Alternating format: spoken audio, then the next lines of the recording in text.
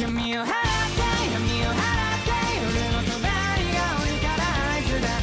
Hola, soy Lish. Hola, soy Bash y hola amigos, bienvenidos una vez más a nuestro canal. Y bueno, el día de hoy como ya es costumbre en el canal les tenemos los spoilers del manga de Jujutsu Kaisen. Y bueno, qué capítulo tan espectacular el día de hoy, ya que como era de esperarse pues tenemos a un Sukuna repartiendo Black Flash por todos lados, pero afortunadamente en esta ocasión también le toca una cucharada de su propia medicina, debido a que nuestro gallo, el cual ahora sí se convierte en el prota y el gallo, finalmente logra conectar un increíble Black Flash en contra de Sukuna.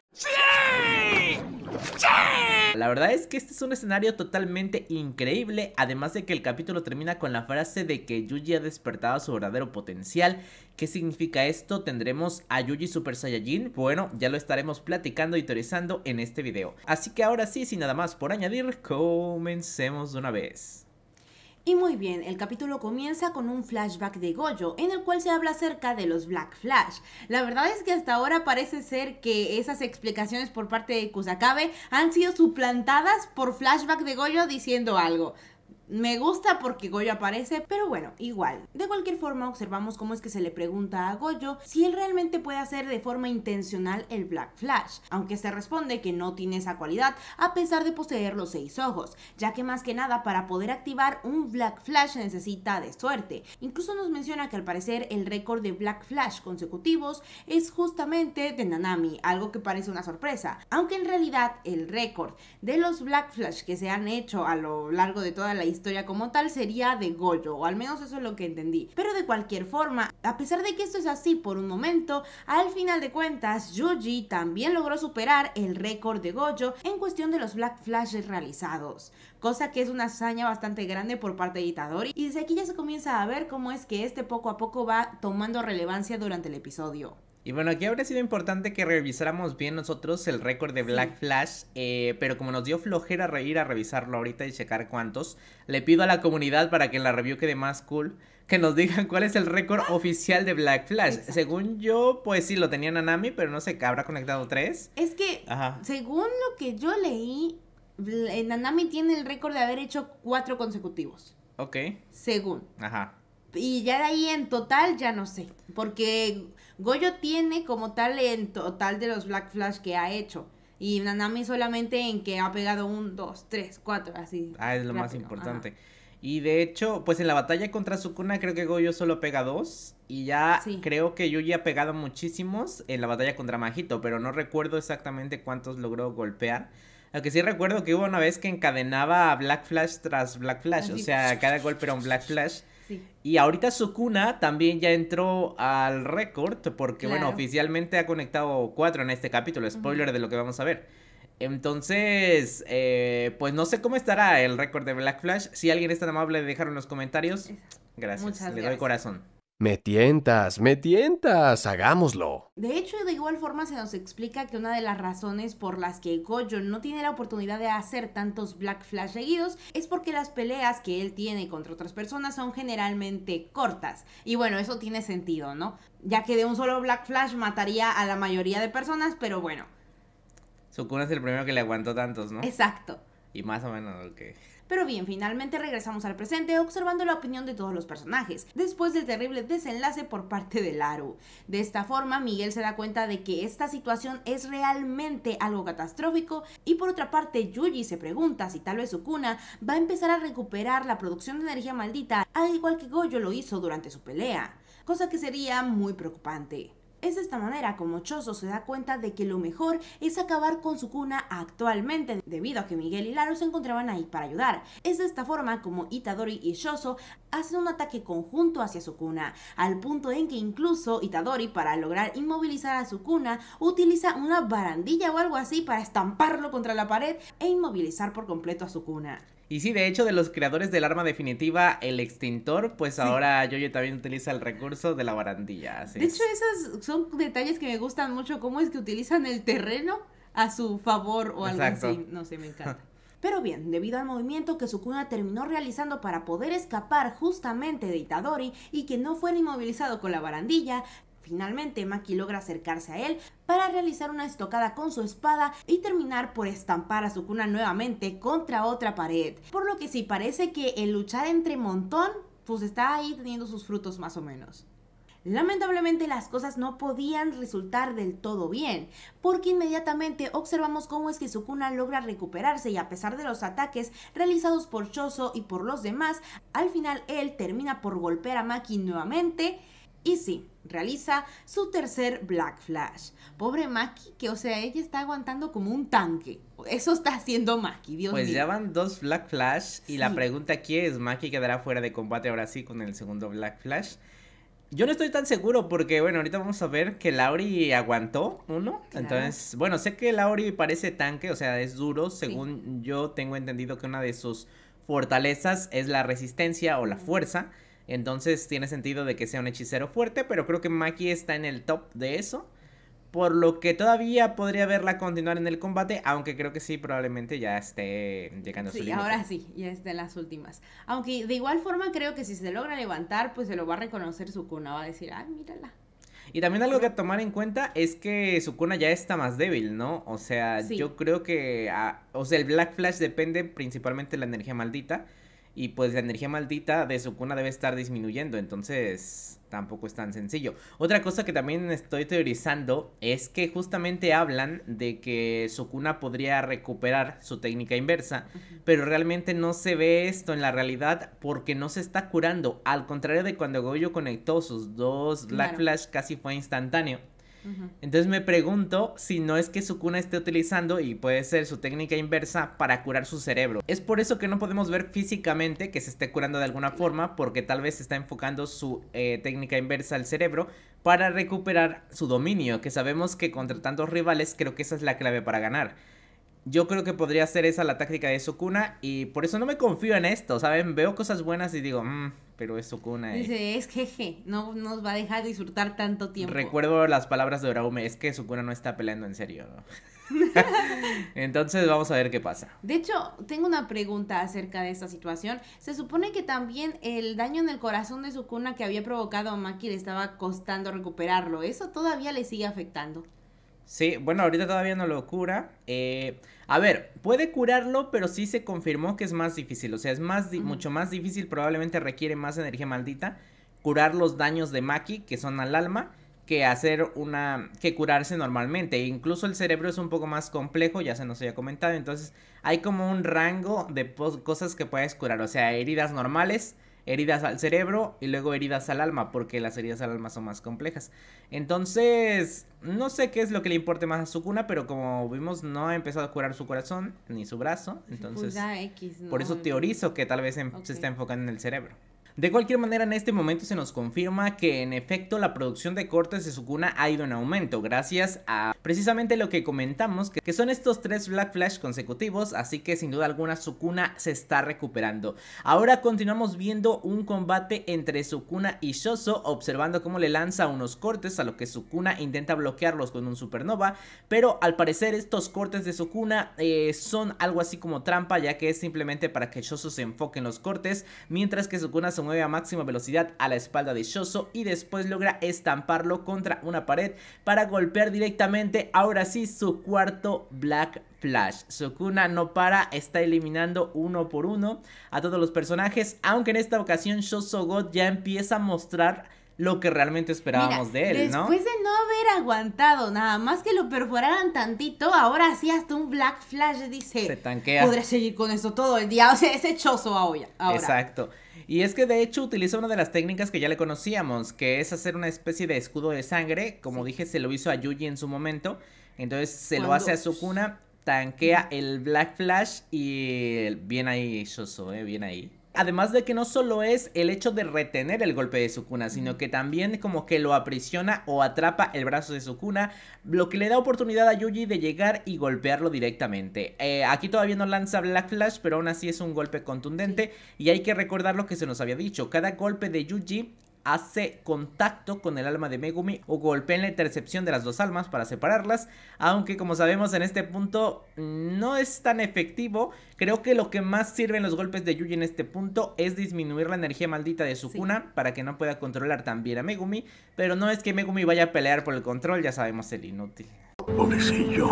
Déjalo en paz. Mira, yo siento que si en algún momento, no sé, Yuji logra volver a hablar con él, realmente va a pues regresar en sí. Yo le tengo fe, amigo. Por un lado, acepto el hecho de que Yuji no, no se lanzó un buen discurso, o sea, le- Sí, nomás le dijo, ven, vámonos. Y él, no manches, ¿no te das cuenta de que mataron a mi hermana y de que maté a mi maestro? O sea, Ahí sí, ahí No, sí. no, no, dice, acuérdate, a ti todo te dio un discursazo épico. sí, dice, ¿Pues y ya qué? tú nomás vienes y me dice, a chambear. Pues, es que tenía que ser igual que su padre. Su padre estaría avergonzado por eso, porque no quiere chambear. es cierto.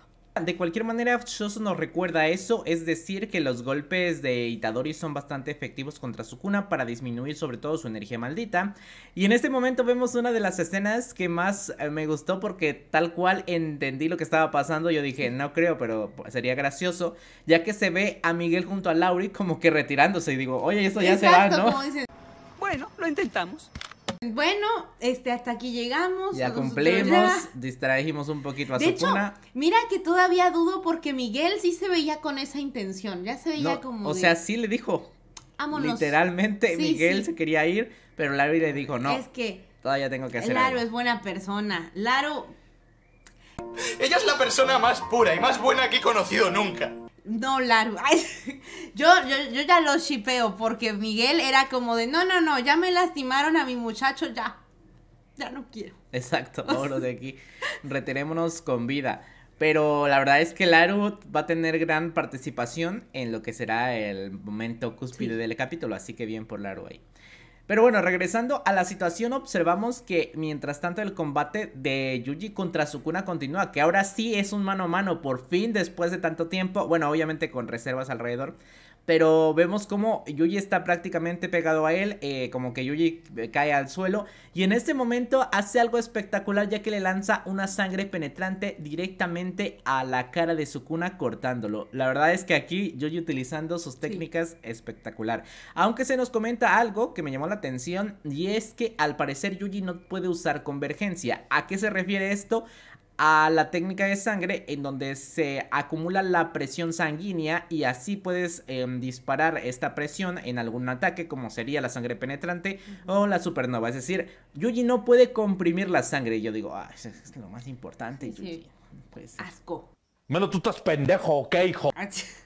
Entonces, a lo que entiendo aquí, que después vamos a ver si la traducción lo explica mejor, Yuji por su propia cuenta no puede lanzar sangre penetrante ni supernova, eh, lamentablemente. Tal vez, a lo mejor y requiera más tiempo o algo así, pero no lo puede usar en medio de la batalla. Claro. O es que también puede ser que pues es medio novatito, o sea, tampoco es que sea experto o super pro. De cualquier manera, la razón por la que pudo lanzar esta sangre penetrante es porque Shoso le da parte de la propia sangre que él ya había comprimido. Y es así como Yuji puede lanzar el ataque. De igual forma vemos como también Sukuna le responde a Yuji cortándolo también. Y bueno, las cosas están muy parejas en este momento, ya que ahora Yuji se acerca a Sukuna para lanzar un golpe directo contra él. Y algo que se nos comenta en este punto es que Majito en su pelea con Yuji tuvo la sensación de que este podía lanzar un Black Flash en cualquier momento. Y exactamente era correcto, ya que el momento en que Yuji quiso atacar con un Black Flash lo logró. Entonces Sukuna, al ser Sukuna deidad, pues también pudo percibir que Yuji estaba a punto de lanzar un Black Flash, por lo que si las cosas hubieran seguido normalmente, probablemente Sukuna lo esquiva. Pero eh, afortunadamente esta vez Jeje sí lo hizo recibir el ataque, por lo que vemos ahora sí la participación de Lauri, el cual utiliza su técnica maldita para contener la conciencia de Sukuna por unos segundos y así pueda ser objetivo del ataque de Itadori. Se nos comenta que una vez que Lauri logró atrapar a alguien con su mano esta fantasma, pues a partir de ese momento puede atrapar su conciencia por algunos segundos. Entonces, bueno, supongo que dependiendo de a quién estás atrapando, Claro. tal vez si es alguien más débil, pues lo atrapa permanentemente.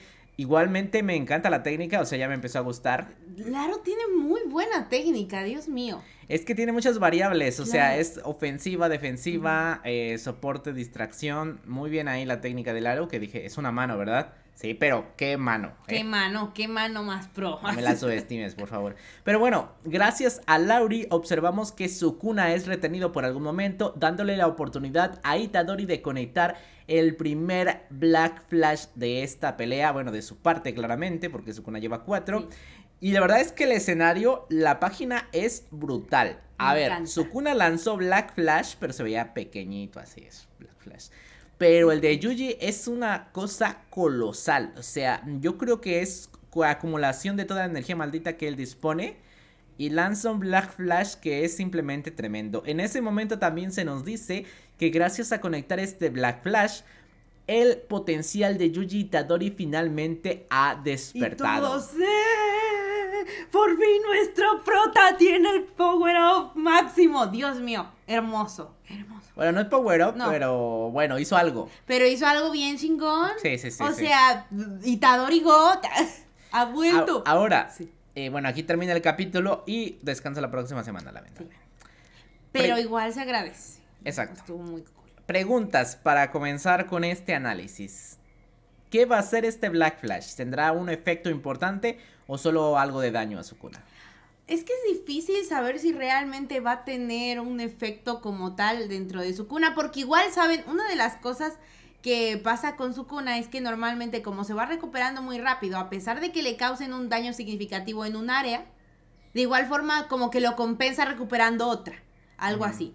En este caso, debido al Black Flash de Itadori, supongo que debería de demostrar que realmente se ve afectado por este.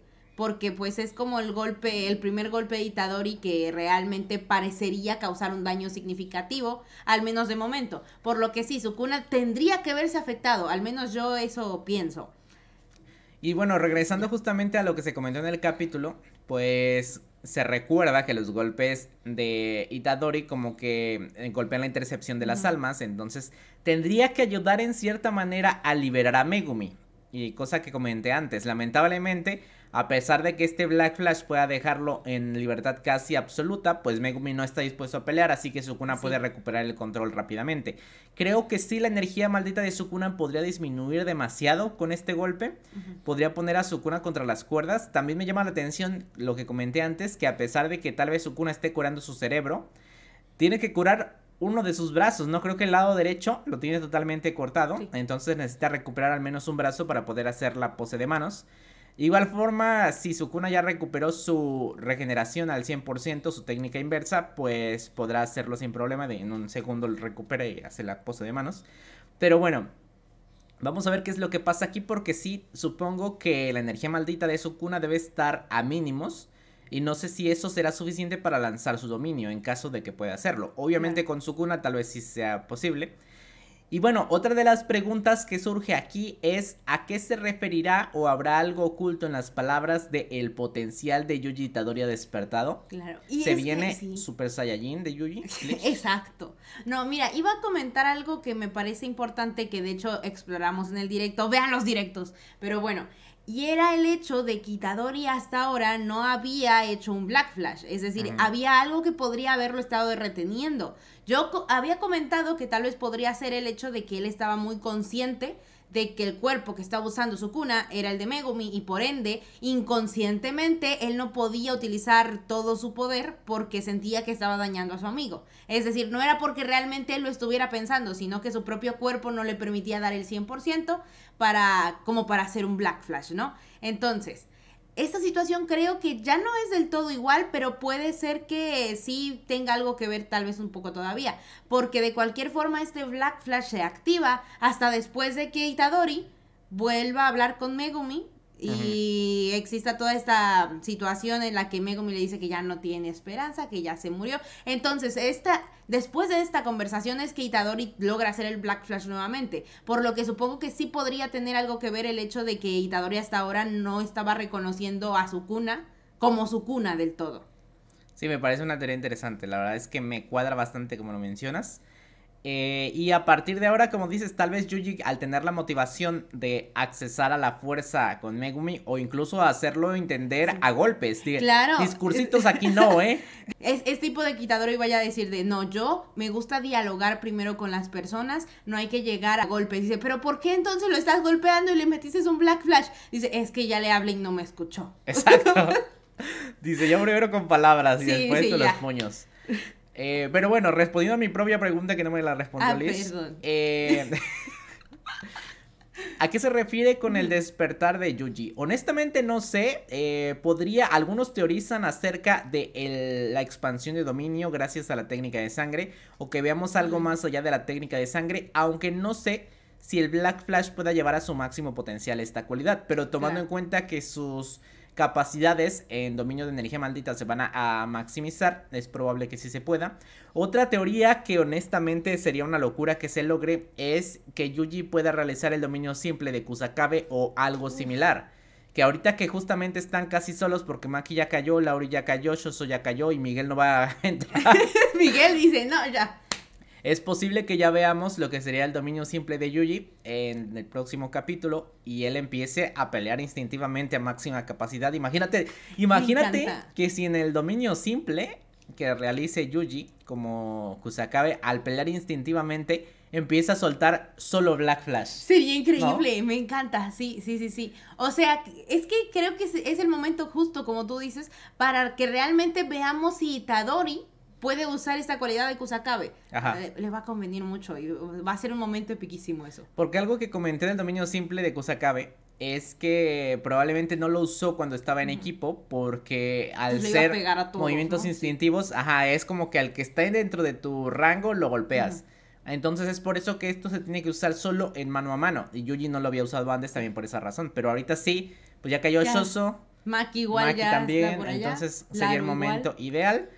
Y vamos a ver hacia dónde va todo esto. Que con Sukuna ya sabemos que no podemos asegurar nada. Porque Sí. parece que va a perder y de repente se levanta y de, Claro, no o lo sea, está dando eh, todo. es inmortal el Sukuna. Bueno, y le falta la técnica de abrir o fuga, Ah, también. no la flecha de fuego y todo esto, que contra Yuji tal vez sí funcione. Entonces, se viene Yuji contra Sukuna el próximo capítulo, muy probablemente. ¿eh? Parecería que sí. O sea, Eh. he estado esperando mucho esto. No sabía si realmente iba a haber un momento en el cual como que se presentara de forma adecuada el que Itadori pudiera pelear con su cuna. Pero al final creo que Jeje lo está haciendo muy bien. O sea, el cómo es que llegamos a esta situación tan desesperada, está bien. Miren que incluso lo de Itadori queda... Yo creí que en un momento, si Itadori iba a llegar y a pelear solo contra su cuna, se iba a ver como lo de Kusakabe. Porque Itadori cuando llegó mm, prácticamente no tenía nada. Pero a- ahorita, conforme ha ido avanzando y se nos ha revelado todo el avance que tuvo durante su entrenamiento, la verdad es que creo que Itadori sí puede. De hecho, de Itadori todavía faltan los brazos que nos digan para ver qué son. A lo mejor en el Porque no simple. sé, o sea, no es como que tengan una cualidad específica. Nomás están ahí para verse bonitos todavía. Pero bueno, ahora sí, de esta manera terminamos los spoilers, chicos. Gran capítulo, Yuji God ya hizo algo relevante. God, ahora sí, sí. parece el prota, después de no sé cuántos capítulos de pelea ya. Sí. Y bueno, a partir de aquí esperemos que Yuji siga mostrando más de sus capacidades. Y con eso terminamos. Déjenos sus opiniones en los comentarios, teorías, qué creen que va a pasar. Des- habrá descanso de dos semanas, lamentablemente. ¿En serio? Entonces, bueno, Yo no sabía. va a haber Ah, descanso. Ah, no, pues sí, no dos semanas seguidas, sí, o sea, Sí. descansa una Uno vez, pero son dos luego- semanas. Sí, pero para vamos a tener que esperar dos semanas, Sí, razón. sí, sí. razón. Solo es un descanso, a ver, que Sí, ya sí, sí, sí. un día, un- Dice que vaya a haber alguien igual que yo que diga en Sí. serio dos semanas. Pero bueno, ahora sí con esto terminamos. Bueno, espero que les haya gustado mucho estos spoilers. Recuerden darle like y suscribirse si no lo están para continuar viendo videos como este, además de las reviews del manga y otros mangas. Y ahora sí, sin nada más por añadir. Bye bye. Adiós.